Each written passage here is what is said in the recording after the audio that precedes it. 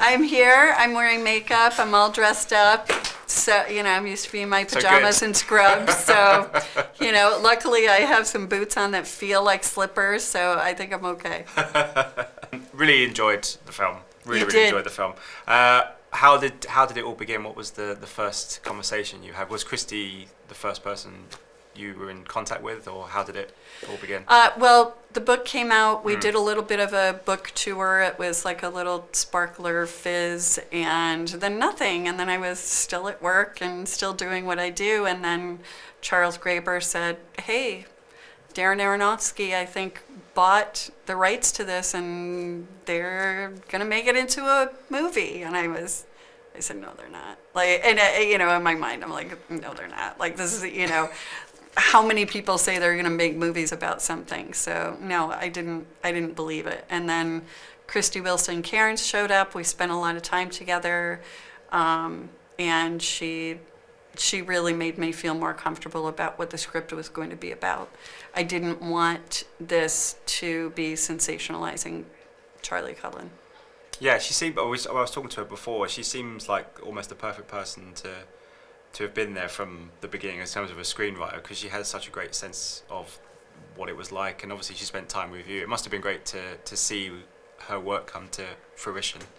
Yeah, and we did foster this friendship between us over, you know, the past seven years, eight years now, I think that we've known each other. And so as our friendship has evolved, also the script evolved. And I think that both of us were able to kind of grow up with the script.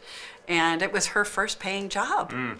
which is really cool that I got to be there right in the beginning. And yes, she she made it very very clear that it was very much about our friendship. It took a lot, a, a, a few years for it to kind of coalesce for you all.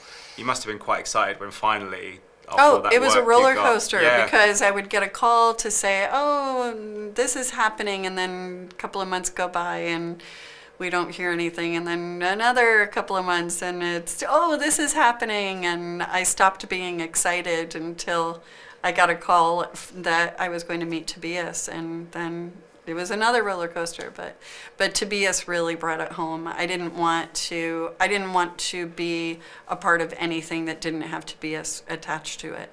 After we met, Yeah, I spoke to Jessica and Eddie earlier as well, and Jessica was saying about how she's played real life people before, but she's never had the real person sort of off camera or anything else. But you, it sounds like you again had a fantastic friendship with her, and she's very, she's I feel like she's a very responsible actor when she plays real life people, and that experience seems to have helped her portray you, even though you were there.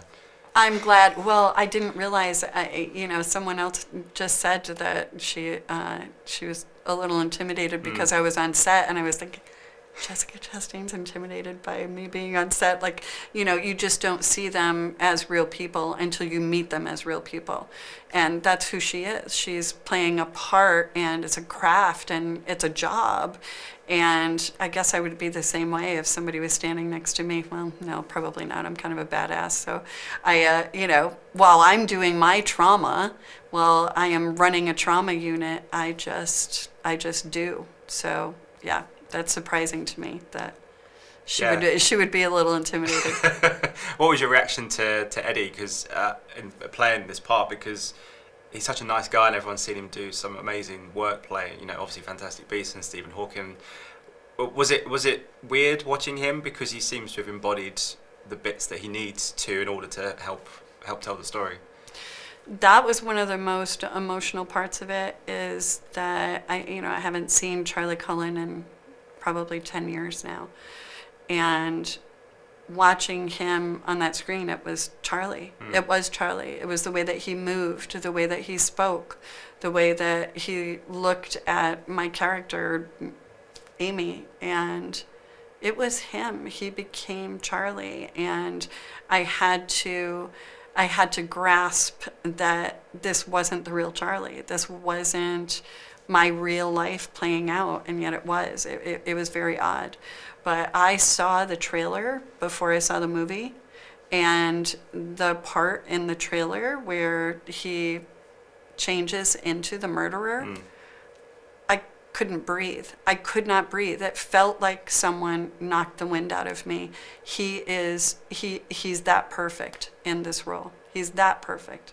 And you've got the documentary as well on the horizon as well. So lots of lots of things. I just saw the happening. documentary and it is stunningly brilliant. That's good. It's a good double bill on, on Netflix. You can watch those together. Yeah, not a lot of yeah, not a lot of press with a documentary though. It's kind of like here it is. hey, people, hey, people, people do like their documentaries, They particularly as they're so easy to kind Yeah. of stream now. So I'm sure people Yeah. Will watch it. Mm-hmm. Thank you so much for your time. Absolute pleasure talking to you. Ladies and gentlemen, you're watching Hey You Guys! Hey, you guys, huh? you guys. Is that from the Goonies? It is indeed, yeah. Nice. Hey,